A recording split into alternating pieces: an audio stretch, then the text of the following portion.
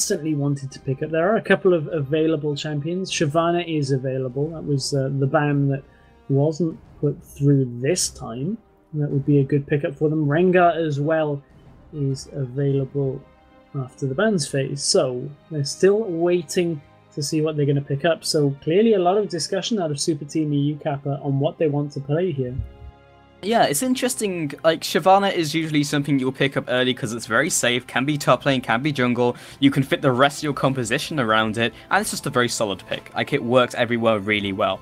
Um, but we'll see exactly what they lock in. You're a couple seconds ahead, so yeah, it was Shyvana that they ended okay. up picking up. So nothing surprising there. Uh, yeah. First pick Shyvana, very standard. I believe we've seen it in most games today that Shyvana has been available. Yeah, you uh, you don't look like a genius. You don't look like you have a crystal ball to, to call that, but uh, it's always nice when it happens. And we'll see what Eternity do in response. So a lot of the priority early picks have been taken away from these guys. So we'll see exactly. It might just be composition picks we see here. One of those things that uh, I I would like to say that I borrowed Jat's crystal ball, but unfortunately this one uh, you could pick with uh, a blindfold on. Yeah. So yeah, what will Eternity look to pick up in exchange for that? Again, but these teams are taking a fair while over what they wanted to play, and it, I wonder whether that's because of the bans here. Of course, Vi was played in the last game, banned out now. Lee Sin wasn't banned in the first game, has been banned this time. So looks like Mowarth is going to pick up Elise and a Jinx alongside that. So uh, fairly common picks, but they're taking a while over deciding. Fantastic. At least they have the Spider Queen here, and. Uh also picking up Jinx. Yeah, it's uh, not too surprising at all. Now, ChewdUp and Ginsu, what will they pick up here? Because uh, ChewdUp has played uh, a number of AD carries with all of the games we've seen him. We've seen him play uh, quite a bit of Ezreal previously in Season 3. Ezreal not played so much these days, but uh, still does have his place in a good few team compositions. They'll go with Gragas again to take that away from uh, this time, so it will be on the team of Super Team EU Kappa. Yeah, absolutely. So, uh, a very just solid pick right there. Um, like Annie fits well with basically any other AD carry. Uh, Lucian is actually something I'm a little bit surprised that we didn't see picked even earlier. Um, but definitely like Gragas again is one of those very common mid laners. We've seen how strong he is in previous games. Those big explosive casks can really just turn a fight. And we saw that from Tiridus in game one. He just landed some magnificent explosive casts, and that just really turned the team fights. You saw the one in top lane actually turned the game on its head. That ace that uh, Eternity got allowed them to take a tower and Baron with those five kills and really just start to snowball the game through. Up until that point, it was a very close game. So uh, hopefully we'll see something similar in this game again, where both teams just trading back and forth. And now this is an interesting play Kayle is normally picked as uh, a counter to Vi, but Vi is banned out, so you have to wonder why there was no Orianna pickup here. It's usually a response, I agree, and especially against Gragas, Orianna d- has a slightly better early game, but kind of uh, peters out into a very even lane after that.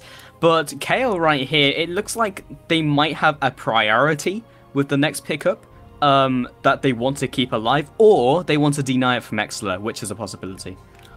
Yeah, I mean, it's not like they're running a Kog'Maw composition where that would go towards keeping them safe. I mean, we haven't seen teams run that in a very long time. Yeah. That's that's beginning of season three was the last time I even think I contemplated seeing that, if I even remember rightly. So I they've already got their AD carry locked in as well. So that it's it's not quite going to be that, but it just seems to me like maybe it's just a comfort pick. I mean, Kayle is a fairly consistent laner. Um, we talked earlier about Righteous Fury giving you the ability to farm and push waves fairly quickly, but I don't know. It just to me doesn't seem like the optimal pick here. Yeah, of course. And it might be, again, just taking that away from Exileh because he has done incredibly well with that pick. Um, but either way, they're going to go with their own pickups, will, will be Evelynn and Caitlyn, which I don't think would have changed with the last second on the stream. So, again, Evelynn will be picked up. It did well in the first game. It could have done better. Um, but all the kills were centralized on the, on the Evelynn, so they were kind of forced uh, to use Evelynn as their like only way to win the team fights. And my problem with the way that uh, the team put the kills onto Evelynn was the fact that they used it for more damage, which is a risky play and can work out because if you can burst somebody quickly, then of course the, the, the damage is going to be worth it because you can really disrupt the team fight. And we saw that once or twice in the game where, you know, Eternity couldn't really get the team fight they wanted. However, this time around, I wonder whether they'll build it a little bit tankier and a little bit more survivable because there's some big, big assassins on the playing field here from Eternity. Yeah, and especially when you're playing against Elise, like it's so easy to read your opponent. Well, I say easy, but it's easy in the sense that if Evelynn does find herself Elise, Elise will just kill her one on one early. It's very difficult if they find themselves out of position if the gank is very um uh, like telegraphed that Elise can just find himself there. Mowarth will just completely destroy that gank before it even happens. So it looks like all the teams are locked in. That Kha'Zix pickup again, going towards that uh, that amount of damage on the assassins, and I'm waiting for a trade here. Actually, uh, Kayle top lane has been played, but isn't exactly the most uh, well, Welcome to season two. yeah, I'm I'm thinking we're in season two here, although Kha'Zix really wouldn't have been existing available then. Yeah, uh, but wow, okay, so it's been locked. Kayle top lane going up against the Shyvana. Interesting. Hmm. Um, I'm I guess actually. Go ahead. Well, I was going to say, I guess we'll have to see what the result is because we've got to head for a very quick break here before we get stun. It will result in a lot of damage, and in straight up trade, Strategas and uh, Nikos will come out better because Caitlyn doesn't trade amazingly, but over time they'll just grind them down with that insane poke range. And uh, we will be back on stream very shortly, guys. Uh, hopefully, you have stuck with us. Looks like we are back live. There's uh, a couple of little issues with Twitch here and there have uh, risen their heads throughout the day. But nevertheless, we are in game number two between Eternity and Super Team EU Kappa. And uh, big harass being put down already in that bottom lane. Indeed, and in the top lane we had Ginsu looking for that gank onto KO and nothing really came of it. So top lane is fairly even at the moment. We haven't seen uh, insane harass from either of these players and Ginsu is still hanging around, got that double buff and wants it to be utilised. Flash forwards from Mozilla as well. MikeyR's already used his flash. This could spell the end of him. Stunned up underneath the turret. Mowarth comes in from nowhere. Cocoon lands and that'll be the one for one. Fantastic cocoon out of mouth to lock down Evelynn under the turret and take massive damage. So one for one overall. Slight gold lead will go to Super Team, of course, getting the first blood on that one. But even pretty much as we saw throughout the first game. Yeah, but more importantly, the double buff is gone from Evelynn, so that's going to hurt the first couple levels in terms of her ganks, and that is really where Evelynn shines. So that has really upset Evelynn's jungle. And uh, Evelynn will struggle a little bit, as you alluded to there. Of course, would like to have that blue buff for that extra cooldown, mana, redu- um, mana replenishment as well. Mana reduction. Mana, I was going to say mana reduction is uh, something that Evelynn would not like, but uh, we are into our third best of three of the day, so at some point there had to be some kind of faux pas. But uh, yeah, know, I'm I'm surprised I lasted this long. yeah, we've been casting for quite a long time now, not quite into the early uh, hours of the morning, which sometimes happens during these challenger tournaments here, stress. so hopefully that doesn't happen, but I don't think it would. And uh, everyone just goes back to farming. Yeah, Mowarth looked for a gank there in the middle lane. Couldn't quite find it, so we'll return to uh, the enemy jungle, actually, not returning to his own. Uh, up in that top lane again, there's a lot of trading back and forth between uh, the two top laners, but bottom lane is where the focus is going to be because the junglers are about to converge. Yeah, Mowarth has uh, moved down, does not quite connect Cocoon. It was a pixel away. Yerrow found himself the stun, jump up, jump down onto the minion line and it doesn't look like they can go any further as the Flame Chompers lands onto all three players. I didn't realize you were a member of House of Pain. That's uh I um don't worry. Sorry, that's someone's uh... gonna get that reference and it wasn't me. Will get that. I'm I, I should not bring music references into this, but nevertheless, neither jungler really managed to get anything off then. Again, trading just blow for blow back and forth here between these two teams. Oh, so close. Looks like nobody really has the number of the either. Yeah, I mean, honestly, it probably would have worked, but Mowarth has uh, been followed by Exileh. Easy auto attack, picks up the double buff, and that has actually reset it literally as it was going to run out. Gragas making an aggressive play like that is something that you don't see all that often. That was all the way over by the Wolf camp from uh, Eternity. So nice pickup there out of Super Team, really knowing that where they can trade and uh, especially against an Elise, not that often that you see her caught out, but she was a little bit damaged from that earlier trade in the bottom lane. Yeah, indeed. Like, Elise players generally just sit in the jungle, sit in the enemy jungle with the knowledge that they're going to be strong enough to do anything. Charados actually trading off against Exileh despite the double buff. Flashes out, Ignite is still ticking down, but I'm sure Happy Hour should keep him alive. Indeed it does. And that just fed another kill to the double buff Gragas. And we saw earlier that uh, the game went in favor of uh, Eternity early on with a couple of kills, but they managed to bring it back to Super Team EU, and maybe they're looking for another kill in that top lane after forcing the intervention out.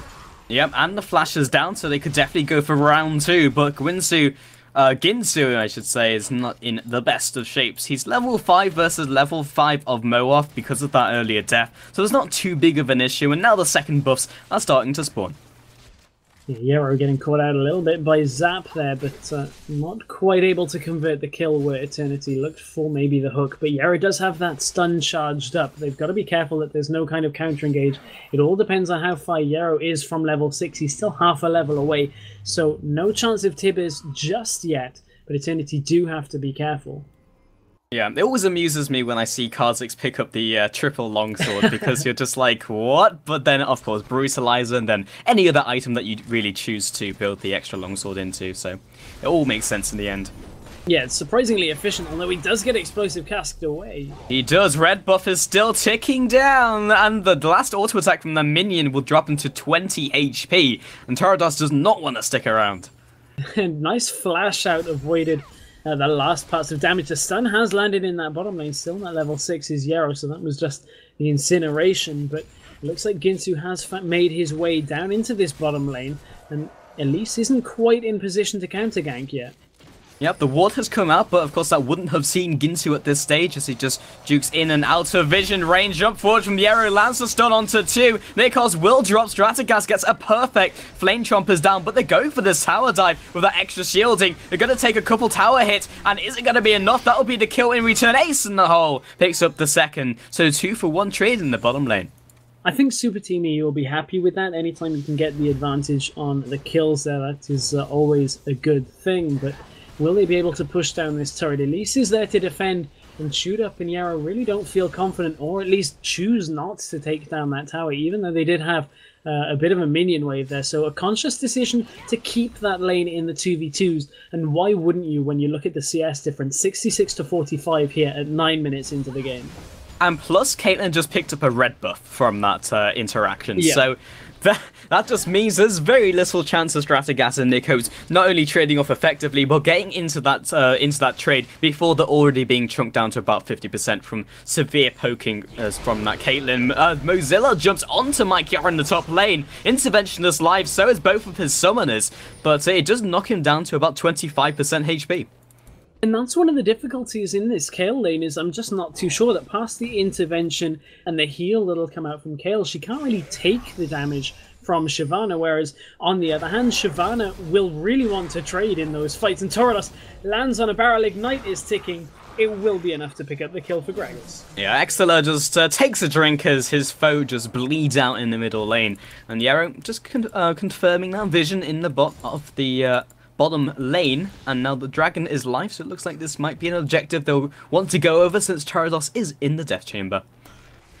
Now, how will they be able to snowball this Gragas? 3 and 0 with 65 CS, so on his person right now is 1300 gold. Wouldn't be surprised to see uh, them pick up the rest of that Athene's Unholy Grail. I think he's a little bit away from actually completing that item, but alongside that double Doran's Ring and the Fiendish Codex, uh, didn't actually complete that recall, so uh, will push the mid lane a little bit further. And Shyvana doing what Shyvana does, especially against a, a, lane opponent that can't really duel her, and that's farm out behind the turret. Mozilla has to be careful that the rotation doesn't come across from Mowarth, but I think Mozilla's done this enough times to know exactly how far he can push that button.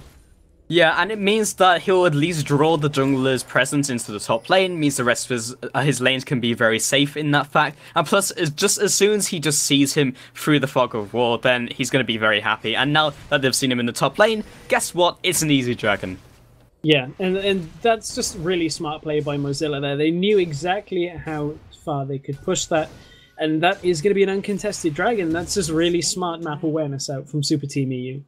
Yep, Mozilla's uh, aggression past that turret has resulted in the objective being taken 6 to 2, um, the objective advantage to Super Team Kappa, and they are in very good shape. So, um, most likely Mozilla will just carry farming behind the turret. There's no reason not to. Dragon's Ascent comes through. He might look for the kill here on Mikey R. Intervention comes down. Still has the flash and ignite. But the ultimate has already been used. ChewdUp takes down Radagast. And the fresh double kill in the bot lane.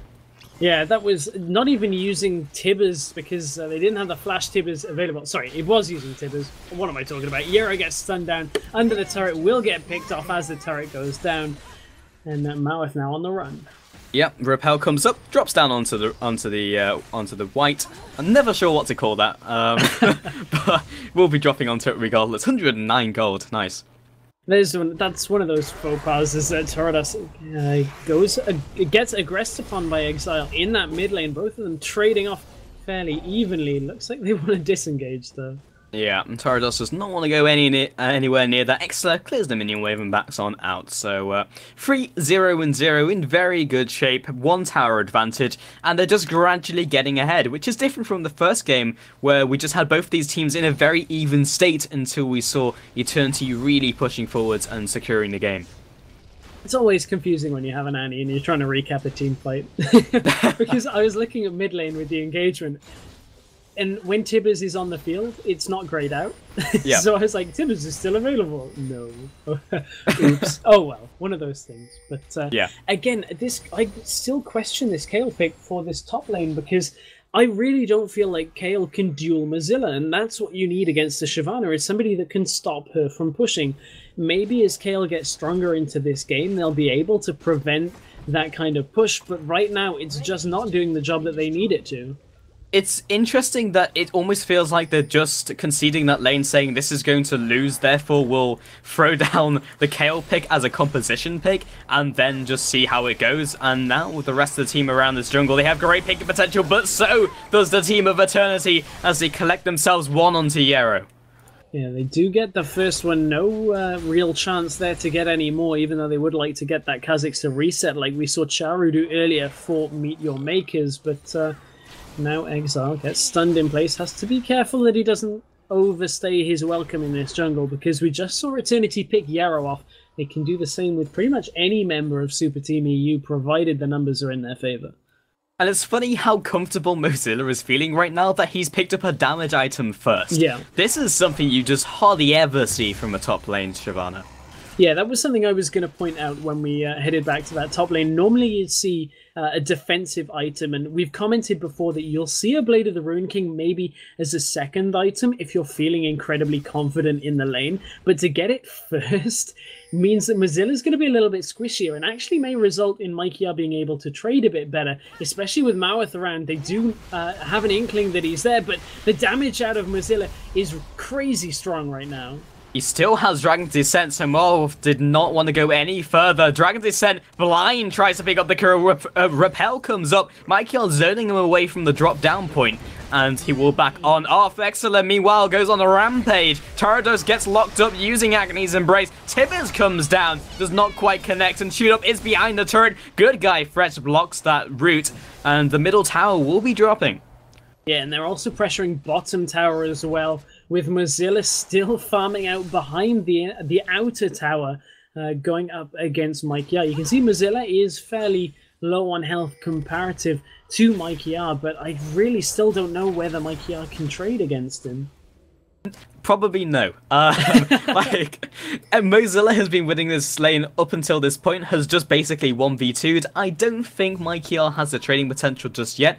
We'll see what he does with the itemization, but Mozilla going with that early damage item, you saw how much burst that was even onto uh, onto Mowaf, who's 3 and 1. Yeah, I just I'm I can't get over this Kayle pick. It's uh, just something that I don't know whether it's worked out for them against Shyvana in previous games, or as you said, it's a composition choice, and it just seems to me that although obviously this the player's skill of Mikey is apparent, you saw him in the last game. He's even doing a fairly consistent performance against the Shyvana in this game, but it just seems like it, there's this mis- mismatch of styles and it's just not lending itself towards Eternity being able to hold back the rest of Super Team EU. It's pretty funky as well because for anyone who hasn't really watched much of Mikey but Tiridus in the mid lane gets hit by Exler once again with that combo Ginsu from the side. See where he goes, where will he stop? In fact, it will be trying to kill Exler, moves even further forwards, but the tower shot takes him down. Super Mega Death Rocket comes across. Uh, oh! Takes down Exler. Excel actually moved just into that one. I think he'll probably kick himself for uh, for getting hit by that. But it does, however, mean that they had a read on where Jinx was roughly. They had a line of where it, the origin of that Super Mega Death Rocket was. So Super Team, even after losing Exila, will push forward. Tiridus wasn't up either. So the 4v4 would have been uh, in their favor anyway. So they pushed down that middle inner turret and looked for the dragon. They found Mauer. Oh, the aggressive flash forwards, in fact, from Elise jumps over the wall using that lantern, but with the follow-up, it might be enough. In fact, it won't be, and Tibbers will just be doing his job and tanking up 50 gold goes to that team of uh, of Eternity, not Roughnecks, and uh, now they're just taking down the dragon. The difficulty in this game is three players have a Roughnecks tag, and one on Super Team has a Reason Gaming tag. So, yeah. And considering we were casting Reason earlier, I keep wanting to call them Reason. So uh, if I stammer over that, that is why. But uh, Super Team EU feeling pretty confident in this game. The Kappas have been thrown out in the in-game chat after uh, Tiridus Not sure if you caught that. and Mozilla were trading over the wolves. Yeah. I didn't quite see who got it. Yeah, I think it went to Shyvana there, um, with like a blind E over the wall, which was pretty fantastic considering it's only level 3 at this stage. Nice. The Kappas are out in force as I expect chat to uh, raise their Match up. Kappas Mhm. fairly soon. There we go. Uh, always nice to see. The full cycle of Twitch chat has been restored. It's like the circle of life, just with more Kappa and FrankerZ. Um, so in the bottom lane, again, the push comes in for Super Team Kappa, and there's very little to stop them. I'm just getting visions of FrankerZ being lifted while a chorus sings the circle of Twitch chat. Uh, Somebody I- please make that. I'm sure we will. But either way, Mozilla has been forced to use his Dragon Descent defensively. Hook does not quite land onto the backside of Exler. It is a very large backside, and Moab will be picking up the white. I forgot he was playing Gragas for a second and I thought you were just being rather bad mannered about the players. I was like, wow, I didn't realise you were going that ham here, Pulse. But uh, no, Gragas is uh, rather large and uh, a bit of a departure from standard Gragas builds, actually. Rather than the Athene's Unholy Grail, they've actually opted for the Morellonomicon as an item here, which, uh, of course, will give him the extra cooldown reduction that you'd expect coming out from the Athene's Unholy Grail.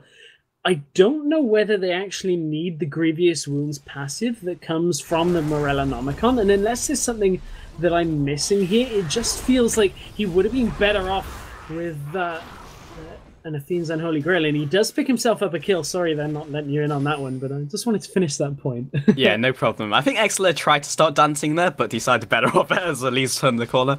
But that was some very smooth mechanics. Actually got the auto attack, flashed over the wall immediately, so Moaf's skill shot missed, and then just walked on out. So uh, it was very smooth, and apparently the item choice didn't even matter. yeah, I, I mean, it's still a standard. It's a solid Yeah. item for mid lane. It gives him all the stats he needs. I just Definitely different. don't know whether it's it's a, a different type of build than the Athene's Unholy Grail. Yeah. Uh, and we can definitely go with that and be right every time by saying it's different. Well, it is But- different. I mean, I'm not going to call him out for building it. It- Again, uh, we we mentioned this earlier. Different uh, players have different play styles, Yeah. so uh, it's, it's just one of those things. Mozilla's play style is to uh, Dragon's Descent over the wall to make sure he doesn't get caught. I think that was the right option. Yeah, Mozilla is very aggressive, but it often means two people have to go after him. And then Flash Tibbers onto Tiridus and Nikot. The intervention can only save one. The jump comes through. Oh, the Gragas barrel. Double kill comes out. Knocks the uh, Tiridus away from his team. But 2 0 might mean this uh, inhibitor turret falling. And this is a little bit more of a goal disparity and uh, game flow change to game number one. In game number one, we saw a very close game. However, Eternity just haven't really been able to get out of the starting blocks on this one. They've picked up a couple of kills where they've been able to. They pick up another one, and Tiridus goes in. There's one. Get excited. Mozilla goes back in. Mooff just chunks him down alongside Tiridus. But that will mean the rest of the team will get out relatively safely. Uh, oh, no, Tiridus does decide better of chasing. Yeah, it's uh, one of those things that I think Super Team have to be a little bit careful that they don't overextend because of the resets on Kha'Zix and also the get excited passive from Jinx. So uh, they do have to be careful they don't overstay. They weren't able to get that inhibitor and another kill there for Tiridus. And the re return kill for ChewdUp. He's trying to go a little further with this one. Strategas has turned up, meaning that uh, Up really doesn't want to donate the red buff towards him. Super Team uh, keep picking these fights. They're getting some from it, but they're also get, giving Eternity a couple of kills here and there, which is going to result in Eternity getting more gold. But I don't think Eternity's team composition is going to lend itself towards being able to hold any kind of siege here. They really rely on getting those resets in the team fights, and with Mozilla returning to that top lane, don't think that uh, Kayle is going to be able to do too much more to this tower. Yeah, Mozilla just tanking the uh, tanking the auto attacks like a man, and Moaf is currently them. And remember that Mozilla has only got one tank item. He would usually have two at this stage. Now he aggresses onto Mikey He doesn't have any defense against magic damage, and Moaf is tearing through him. And Mikey will pick up that kill. Again, Eternity are picking up kills, and that's not good if you're Super Team EU. Yes, Super Team have champions such as Shyvana, which will do very well into the late game, but if they give the gold over to Eternity, they have to be careful in these fights that they don't get the items to really get maximize the resets. Yeah, and yes, Mozilla is saying Kappa every time he dies, but it doesn't mean that that's a, a, a, worth play. So right now in the bottom lane, Strategas Ginsu comes out, ace in the hole, Cross will easily be enough damage to instantly take him down. Oh, Explosive Cask in the top lane nearly saves Gragas, but I think Exileh is in a little too over his head, as Mowarth will pick that one up to go on a killing spree. Yep, so picks all over the map, one for one, and Nikos does not quite land the flay. Turtles jumps onto Ginsu, does not get the reset. That means Tudor will take one. Looking for the next one, he's only dragging him towards him. There's the second. Moaf jumps forward, he can one versus two, but not if he's kited around. Yerrow comes in from the side, auto attacks, and also Mike Yard. There's the Tibbers, will get the stun down. Moaf drops to ChewdUp, and he's got also got the slow from Red Buff. Flash comes out, Strategas has returned. Tibbers will be taking that turret, but that is surely going to be the inhibitor. And it looked like Eternity just didn't estimate the damage that came out from Tudor. Before that, he had four, he was 4 0 and 4. I believe he had the Bloodthirster static shield, oh. as he does oh. now, and a nice pickup from Strategas.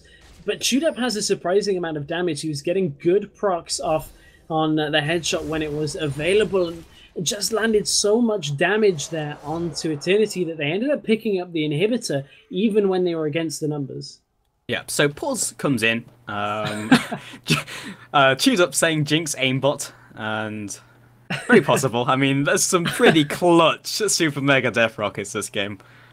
I think though the couple that they have fired long range has more been that the prediction has been so good out of strategist that he's predicted where it was going to hit rather than you know they were recalling. The two that have hit, Exileh moved into earlier, and that time uh, I believe uh, it was Ginsu moved into that one. So uh, be a pretty specific aimbot that I don't think exists, to be honest. So yeah. uh, we'll pin this one down to strategist skill. Honestly, like I, a lot of these ultimates that are hitting feel like if they weren't announced on TeamSpeak or whatever comms they're using wouldn't hit, but because they're saying, "Oh, Jinx ultimate," they're like, "Oh, panic, turn around," and then get hit by the Strategas ult.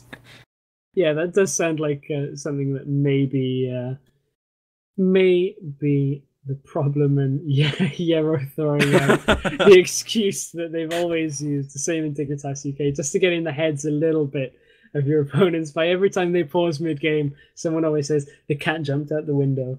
So... I, I, believe the cat has died on several occasions as well yeah, it has. from games they really I've watched. need to start looking after their cats a little bit mm. better. I'm just gonna I'm gonna say it there. Yerrow, look after your your pets. Unbelievable. But uh, here here at uh, Ready Up TV, we do not approve at all of uh, of abuse to animals. But ChewdUp moving forwards along with Yerrow will who picked up the who picked up blue. It was indeed ChewdUp. Yeah, they managed to steal that one away. Uh, they probably would have liked to have given that over to Exileh. I, let's see whether he's got one on him. He doesn't actually have one uh, currently, so I think that was just a little bit of miscommunication, perhaps. But uh, nevertheless, stealing away the blue buff, as long as you get it on your side, that's really the main aim of that play. Yeah, indeed. Uh, as long as it is just denying it from the team of Eternity. So a 10k advantage at this stage in the game looks like it might turn into a third game here stretch, which would be very exciting. Yeah, of course, that would make things uh, our first third game of the day. That was uh, a little confusing for the brain, first third. But it is at this stage of the day. uh, we do have another best of three coming as well, as we'll see Ocelot's team in action. That will follow this best of three. But this is game number two here between Eternity and Super Team EU Kappa in the Scan Invitational round of eight, powered by Netgear, Sound Blaster, and Be Quiet. Now, Exileh looking maybe for the engage here, but his team aren't really grouped up for a fight yet, so really just throwing those barrels out to deny Ginsu gets locked in place. And instantly nuked down, perfect um, Cocoon once again. Gragasbow comes out, does not quite predict the right place. It doesn't even matter because ChewdUp is legendary. Tiridus does pick up the shutdown, and Super Mega Death Rocket this time lands, but Noz does not pick up a kill. Strategas not quite able to pick up Yerrow, and there's a dragon from the side. Box comes out from Nikos to kind of keep him away from Strategas for as long as possible. Gragasbow over the wall picks up another. Nikos is the only one left standing who is willing to fight, backing on off with the flash. Mozilla is looking for the next one, and Tiridus has recalled only to save his base. And that really just now gives Super Team EU as much free reign as they want. Eternity stalled that fight out a little too long and ended up losing a Nexus turret for it. And that means Super Team EU can rotate around to the top lane, take down another turret, and then prepare for Baron. Because as soon as you have this much pushing in and that much damage to the base of Eternity, Super Team can really just pick their fights and pick their Baron. Yeah, and there's very little they can do about Strategas. We'll see if they can use this window of opportunity to not get caught, um, and also potentially take down the Baron as well. But there is superb warding coverage, so they might just try and disengage, get their items, recall, get their health, or just instantly take down one of these junglers ChewdUp over the wall. Lands the Piltover. And they can see the strategist is in that bottom lane, so I'm surprised that the recall is coming out here, although Yerrow is fairly low. I guess they don't really want to fight against the reset composition with Kha'Zix just in case they take a, a poor fight, but really Super Team EU, knowing Jinx is down in the bottom lane, have free reign of the map once again. Yeah, they uh, they really can't afford for anyone to become an instant reset for Kha'Zix because as soon as one person goes down, it just becomes the reset train for Tiridus, and that's the opposite of what they want. So they need those squishies to be at least as high as they can be before entering a team fight. And I'm wondering what Eternity can do here. They really are just banking on the resets in the team fights, but that's one of those things that is such a 50 50 that you have to make sure you get that kill. And sometimes you can burst too much to even chase that first reset that it can end up that the rest of your team are down while Kha'Zix is resetting, although is trying to fight 1v4. So it's all on how Eternity can counter engage these team fights or even pick somebody off early on. Yeah, indeed. And Shyvana, unlike most Shyvanas, has picked the earlier Blade of the Ruined King, so they've got a lot of damage even on the Bruiser who'll be diving onto the back line. So, already, we do see the team of Super Team Kappa moving into the top lane, seeing if they can get themselves another inhibitor turret. That would be their ideal prize, but not getting caught would also be good. All the skill shots will miss Mozilla. Yeah, the inhibitor has respawned in the bottom lane, so that means that uh, no more super minions will be pushing through. The last one was killed as well, so that wave will return to some sense of normalcy.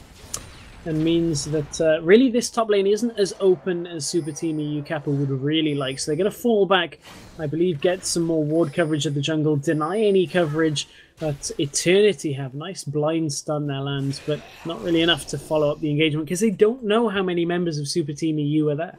They know it's hitting someone, but they don't know how many how many it's actually taking down. So now we'll just see the rotations come in from Super Team Kappa. They're finding it very difficult to take down one of these inhibitor turrets uh, unless they get themselves a pick. I'm a little surprised they haven't just mobilized towards the bottom lane. They're very uh, focused on trying to get themselves a kill.